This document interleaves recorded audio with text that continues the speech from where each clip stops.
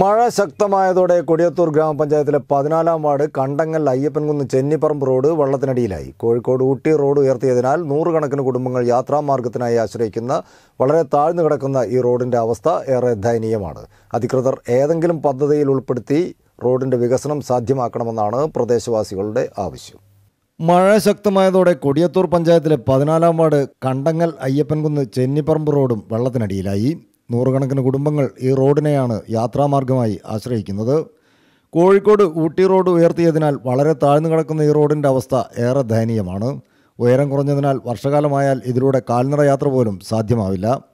മാവൂർ പന്നിക്കോട് റോഡിൽ നിന്ന് സൗത്ത് കൊടിയത്തൂർ ഭാഗത്തേക്ക് എളുപ്പത്തിൽ എത്തിച്ചേരാൻ സാധിക്കുന്ന ഈ road Kandangal anganwadi Cheruvadi government higher secondary school Chullikkaparamba government L school Cheruvadi പ്രാഥമിക ആരോഗ്യ കേന്ദ്രം P T M I school south Kodiyathur U P school Kandangal S C colony എന്നിവിടങ്ങളിലേക്കുള്ള യാത്രാമാർഗമാണ്.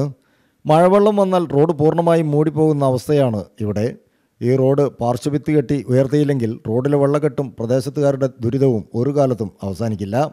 മാസങ്ങൾക്ക് മുൻപ് പഞ്ചായത്ത് ഭരണസമിതി കുറച്ച് ഫണ്ട് അനുവദിച്ചിരുന്നുവെങ്കിലും പാർലമെന്റ് ഇലക്ഷൻ പെരുമാറ്റച്ചട്ടം നിലവിൽ വന്നതിനാലും ശേഷം മഴ ശക്തമായതോടെ വയലിൽ മഴവെള്ളം കയറിയതിനാലും പ്രവൃത്തി ആരംഭിക്കാൻ സാധിച്ചിട്ടുമില്ല. അധികൃതർ ഏതെങ്കിലും പദ്ധതിയിൽ ഉൾപ്പെടുത്തി ഈ റോഡിന്റെ വികസനം സാധ്യമാക്കി നൽകണമെന്നാണ് പ്രദേശവാസികളുടെ ആവശ്യം. News bureau Mukkam.